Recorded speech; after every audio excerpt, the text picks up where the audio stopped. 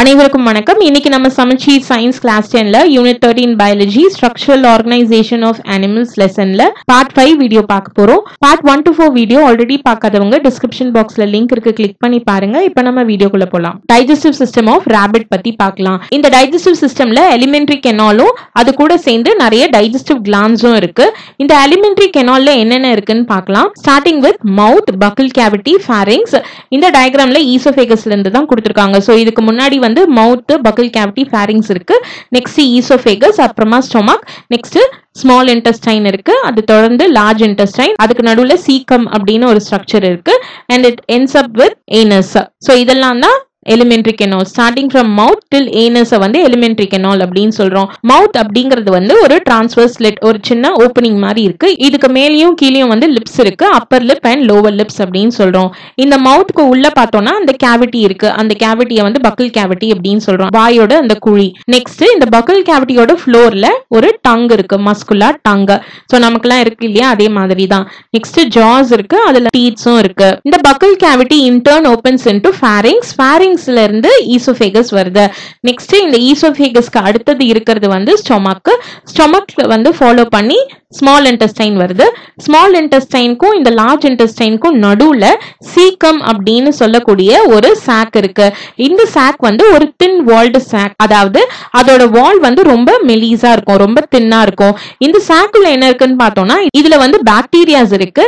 இந்த பாக்டீரியா வந்து ராபிட் வந்து உட்கொள்ற அந்த பிளான்ஸ் இருக்கு இல்லையா? அதுல இருக்கிற செல்லுலோஸை டைஜஸ்ட் பண்றதுக்கு ஹெல்ப் பண்ணுது. இந்த சீக்கம் வந்து small intestine and large intestine ரெண்டும் மீட் பண்ணுது இல்லையா? அந்த ஜங்ஷன்ல தான் இந்த சீக்கம் இருக்கு. நெக்ஸ்ட் லார்ஜ் இன்டெஸ்டைன் இந்த லார்ஜ் இன்டெஸ்டைன்ல வந்து காலன் அண்ட் ரெக்டம் இருக்கு. இந்த ரெக்டம் வந்து ஓபன்ஸ் அவுட் டு ஏனஸ் வெளியில வந்து ஏனஸ் வழியா ஓபன் ஆகுது. ஸோ இதுதான் வந்து ராபிட்டோட டைஜஸ்டிவ் சிஸ்டம் அதை வந்து ஒரு ஃப்ளோ சார்ட்ல கொடுத்துருக்கேன். ஸ்டார்டிங் வித் மவுத் அது வந்து ஒரு டிரான்ஸ்பர் ஸ்லிட் அதுல அப்பர் அண்ட் லோவர் லிப்ஸ் இருக்கு. நெக்ஸ்ட் பக்கிள் கேவிட்டி பக்கிள் கேவிட்டியில ஒரு டங் இருக்கு ஜாஸ் வித் டீத்தும் இருக்கு. இது வந்து opens into pharynx that in turn opens into oesophagus oesophagus வந்து ஸ்டொமக்கில் ஓப்பன் ஆகுது. ஸ்டொமக்கை தொடர்ந்து ஸ்மால் இன்டெஸ்டைன் இருக்கு. ஸ்மால் இன்டெஸ்டைனுக்கும் லார்ஜ் இன்டெஸ்டைனுக்கும் நடுவில் சீக்கம் அப்படின்னு சொல்லக்கூடிய ஒரு சாக் இருக்கு. அந்த சாக்ல பாக்டீரியாஸ் இருக்கு. அந்த பாக்டீரியா வந்து ஃபுட்ல இருக்கிற செல்லுலோஸை டைஜஸ்ட் பண்றதுக்கு ஹெல்ப் பண்ணுது.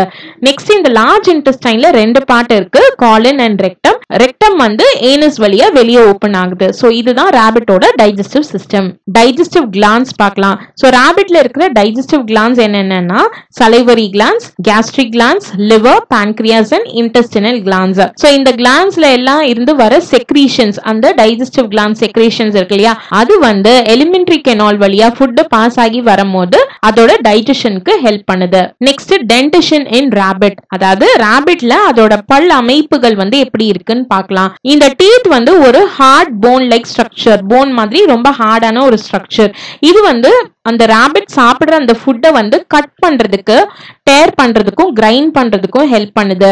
இந்த ரேபிட்ஸில் ரெண்டு செட் ஆஃப் டீத் இருக்கு. ஸோ எந்த அனிமல்ஸ்லாம் இந்த மாதிரி ரெண்டு செட் ஆஃப் டீத் இருக்கோ அதை வந்து டைஃபயோடான் டென்டிஷன் அப்படின்னு சொல்றோம். ஸோ இந்த ரேபிட்லையும் வந்து டைஃபயோடான் டென்டிஷன் தான் காணப்படுது. இந்த ரெண்டு செட் ஆஃப் டீத்னு சொன்னேன் இல்லையா அந்த டூ டைப்ஸ் ஆஃப் டீத் என்னென்னன்னா ஒன்று வந்து மில்க் டீத் இன்னொன்று வந்து பர்மனன்ட் டீத் நம்ம ஹியூமன்ஸ்லயும் இதே மாதிரி milk teeth and permanent teeth இருக்கும். அதாவது குழந்தை குழந்தையா இருக்கும் போது வளர அந்த பற்களை வந்து மில்க் டீத்துன்னு சொல்லுவோம். அதுக்கப்புறம் அது விழுந்துட்டு திருப்பியும் வளரும் இல்லையா? அதை வந்து பெர்மனன்ட் டீத் அப்படின்னு சொல்லுவோம். அதே மாதிரி தான் ரேபிட்லயும் யங் ஒன்ஸ்ல இருக்கிற டீத்தை வந்து மில்க் டீத்துன்னு சொல்றோம். அடல்ட்ஸ்ல இருக்கிற டீத்தை பெர்மனன்ட் டீத் அப்படின்னு சொல்றோம். ஸோ ரேபிட்ல வந்து டிஃப்ரெண்ட் டைப்ஸ் ஆஃப் டீத் இருக்கு. எல்லா பல்லும் ஒரே மாதிரி இருக்காது. இப்போ நமக்கே பார்த்தோம்னா ஒரு ஒரு பல்லு ஒரு ஒரு மாதிரி இருக்கும் இல்லையா? ஸோ அதே மாதிரி ரேபிட்லயும் டிஃப்ரெண்ட் டைப்ஸ் ஆஃப் டீத் இருக்கு. அதனால அதை ஹெட்ரோடான்ட் அப்படின்னு சொல்றாங்க. ஹெட்ரோ அப்படின்னா டிஃப்ரெண்ட் அதனால டிஃப்ரெண்ட் டைப்ஸ் ஆஃப் டீத் இருக்கிறதுனால இதை ஹெட்ரோடான்ட் அப்படின்னு சொல்றாங்க. ஸோ யூஸ்வலாகவே மேமல்ஸ்ல ஃபோர் கைண்ட்ஸ் ஆஃப் டீத் இருக்கும். அது என்னென்னா incisors canines premolars and molars incisors I no canine C premolars PM and molars M அப்படின்னு ரெப்ரசென்ட் பண்றாங்க. எதுலன்னா டென்டல் ஃபார்முலால டென்டல் ஃபார்முலா அப்படின்னா என்னன்னா மேமல்ஸ்ல டீத்தோட அரேஞ்ச்மெண்ட் இருக்கு இல்லையா? அதை ரெப்ரசென்ட் பண்றதுக்கான ஒரு சிம்பிள் மெத்தட் தான் இந்த டென்டல் ஃபார்முலா அப்படின்னு சொல்றோம். இதை எப்படி கால்குலேட் பண்றாங்க அப்படின்னா upper jaw jaw and lower jaw இருக்கு இல்லையா? அந்த அப்பர் அண்ட் லோவர் ஜால எத்தனை டீத்ஸ் எப்படி அரேஞ்ச் ஆயிருக்கு அப்படிங்கறத பார்த்து தான் இதை வந்து கால்குலேட் பண்றாங்க. அது வந்து ரெண்டு சைடும் கால்குலேட் பண்ண மாட்டாங்க. ஒன் சைடு மட்டும் தான் பார்த்து கால்குலேட் பண்ணுவாங்க. ஸோ இப்போ வந்து இதை வந்து ஒன் சைட்ல இருந்து நம்ம பாக்குறோம் ஓகேவா சைட்ல இருந்து பார்க்கும்போது இந்த மாதிரி இருக்கும். ரேபிட்டோட jaws upper jaw and lower jaw so இதுல எப்படி டீத் அரேஞ்ச் ஆயிருக்கு? எத்தனை இருக்கு? அப்படிங்கறத பொறுத்து அந்த டென்டல் ஃபார்முலா எழுதுவாங்க. ஸோ இந்த ரேபிட்ல டென்டல் ஃபார்முலா பார்த்தோம்னா ஐ வந்து டூ பை ஒன் அப்படின்னு கொடுத்துருக்காங்க. இந்த டயக்ராம்ல பாத்தீங்கன்னா தெரியும். இதுதான் இன்சிசாஸ் மேல வந்து ரெண்டு இன்சிசாஸ் இருக்கு இல்லையா? கீழே ஒன்னே ஒண்ணுதான் இருக்கு.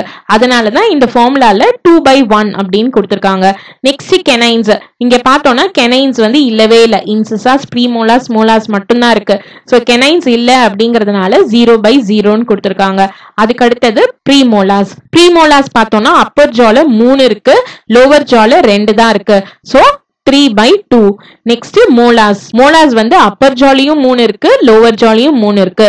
So three by three so ரேபிட்டோட dental formula வந்து two zero three three by one zero two three இப்படி தான் ரெப்ரசென்ட் பண்ணுவாங்க. இதுல வந்து கேனைன்ஸ் வந்து கிடையாது. கேனைன்ஸ் வந்து ஆப்சென்ட் ஸோ இன்சிசாஸ்க்கும் ப்ரீமோலாஸ்க்கும் நடுவில் ஒரு கேப் இருக்கு இல்லையா? அந்த கேப் வந்து டயஸ்டமா அப்படின்னு சொல்றாங்க. இந்த டயஸ்டமா வந்து என்ன பண்ணுதுன்னா ஹெர்பிவோரஸ் அனிமல்ஸ் அதாவது பிளான்ஸ் சாப்பிட்ற அனிமல்ஸ்ல அந்த ஃபுட்டை வந்து சூ பண்றதுக்கும் அதை வந்து மாஸ்டிகேட் பண்றதுக்கும் கிரைண்ட் பண்றதுக்கும் வந்து இந்த டயஸ்டமா ஹெல்ப்ஃபுல்லா இருக்கு. அடுத்தது ரெஸ்பிரேட்டரி சிஸ்டம் ஸோ ரேபிட்ல ரெஸ்பிரேஷன் லங்ஸ் மூலியமா நடக்குது. இந்த லங்ஸ்ன்றது வந்து ஒரு லைட் அண்ட் ஸ்பாஞ்சி டிஷ்யூ ரொம்ப ஸ்பாஞ்சியா சாஃப்டா இருக்கிற ஒரு டிஷ்யூ தான் இந்த லங்ஸ் இது எங்க இருக்கு அப்படின்னு பார்த்தோம்னா தொராசிக் கேவிட்டியில இருக்கு.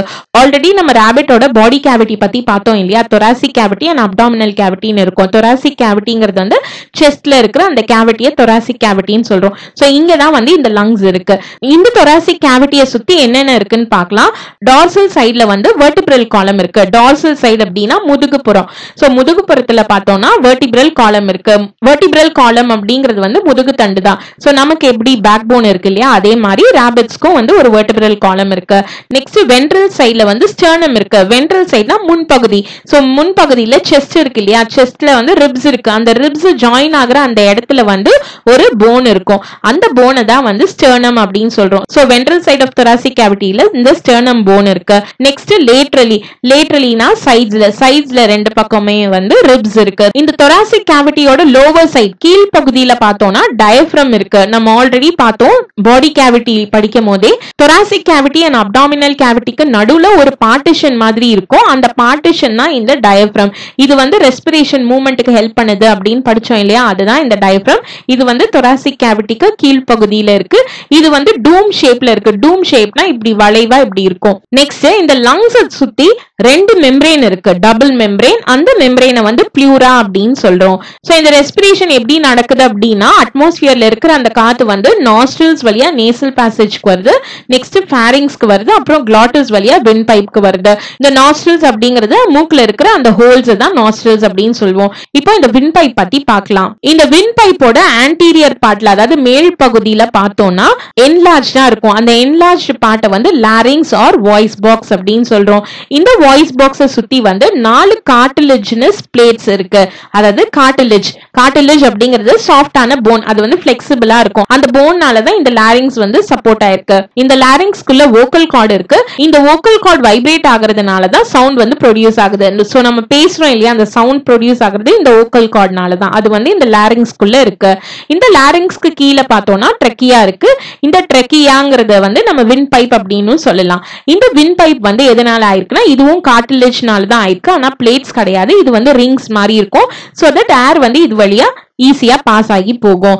நெக்ஸ்ட் இந்த ட்ரக்கியா வந்து ரெண்டா பிரிது இல்லையா? இந்த பிரான்ச்சை வந்து பிராங்கை அப்படின்னு சொல்றோம். இந்த பிராங்கை வந்து லங்ஸ்குள்ள நுழைஞ்சதுக்கு அப்புறமா ஃபர்தரா நிறைய பிரான்ச்சஸ் வந்து அதுல இருந்து பிரியும். அந்த பிரான்ச்சஸை வந்து பிராங்கியோல்ஸ் அப்படின்னு சொல்றோம். அந்த ஒவ்வொரு பிராங்கியோல்ஸும் ஆல்வியோலையில போய் எண்ட் ஆயிடும். இது ஆல்மோஸ்ட் ஹியூமன் ரெஸ்பிரேட்டரி சிஸ்டம்ல இருக்கிற மாதிரியான ஒரு அமைப்பு தான். சோ இதுல காத்து எப்படி உள்ள போகுது அப்படின்னா இங்க வந்து ஒரு ஓப்பனிங் இருக்கும். அதை வந்து கிளாட்டஸ் அப்படின்னு சொல்றோம். ஃபுட்டு வந்து உள்ள எடுக்கும் போது அந்த கிளாட்டஸ் வந்து க்ளோஸ் ஆயிரும். அது க்ளோஸ் க்ளோஸ் ஆகிறதுக்குன்னு ஒரு கேப் மாதிரி ஒரு ஃபிளாப் மாதிரியான ஒரு கார்டிலேஜினஸ் போன் இருக்கு.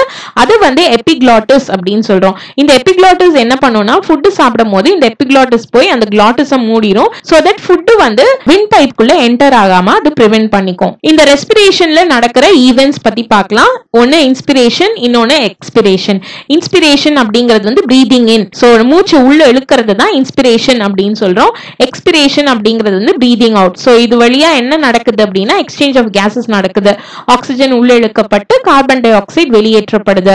இந்த இன்ஸ்பிரேஷன் அப்படிங்கிறது ஒரு ஆக்டிவ் ப்ராசஸ் அதாவது யூசேஜ் ஆஃப் எனர்ஜி இதுல நடக்குது. எனர்ஜி யூஸ் பண்ணி தான் இந்த இன்ஸ்பிரேஷன் நடக்கும். எக்ஸ்பிரேஷன்ங்கிறது ஒரு பாசிவ் ப்ராசஸ் அதாவது இந்த ப்ராசஸ் நடக்கிறதுக்கு எனர்ஜி எதுவும் தேவை கிடையாது. ஸோ அதை ஒரு ஃப்ளோ சார்ட் ஃபார்ம்ல கொடுத்துருக்கேன். ஃபர்ஸ்ட் ஸ்டார்டிங் வித் நாஸ்டல்ஸ் இது வழியா காத்து என்டர் ஆகுது.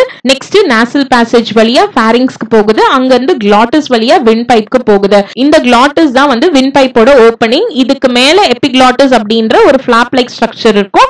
அது வந்து ஃபுட்டு முழுங்கும் போது போய் கிளாட்டிஸ் மூடிடும். கிளாட்டிஸ்க்கு அடுத்தது இருக்கிறது வந்து லாரிங்ஸ் ஆர் வாய்ஸ் பாக்ஸ் இதுதான் வந்து anterior part of the windpipe win பைப்போட மேல் பகுதியில இதுதான் இருக்கு. இதுக்குள்ள ஓக்கல் கார்ட்ஸ் இருக்கு. இந்த ஓக்கல் கார்ட்ஸ் தான் சவுண்ட் வந்து ப்ரொடியூஸ் பண்ணுது. நெக்ஸ்ட் உள்ள இருக்கிறது வந்து வின் பைப் அதை ட்ரக்கியா அப்படின்னு சொல்லுவோம். இது வந்து ரிங்ஸ் ஆஃப் கார்டிலேஜ்னால ஆனது. இந்த ட்ரக்கியா வந்து ரெண்டு பிரான்ச்சா பிரியுது. அதை ப்ராங்கைன்னு சொல்றோம். இது லங்ஸ்குள்ள போயிட்டு ஃபர்தரா நிறைய பிரான்ச்சஸா பிரியுது. அதை ப்ராங்கியோல்ஸ் அப்படின்னு சொல்றோம். அந்த ஒவ்வொரு ப்ராங்கியோல்ஸும் ஆல்வியோலைல போய் முடியும். இந்த லெசனோட கண்டினியூவேஷனை நம்ம நெக்ஸ்ட் வீடியோல பார்க்கலாம். இந்த வீடியோ உங்களுக்கு ஹெல்ப்ஃபுல்லா இருந்ததுன்னா லைக் பண்ணுங்க ஷேர் பண்ணுங்க கமெண்ட் பண்ணுங்க. மறக்காம எஸ்விஎம் எடிஃபிகேஷன் சேனலை சப்போர்ட் பண்ணுங்க சப்ஸ்கிரைப் பண்ணுங்க. Thank you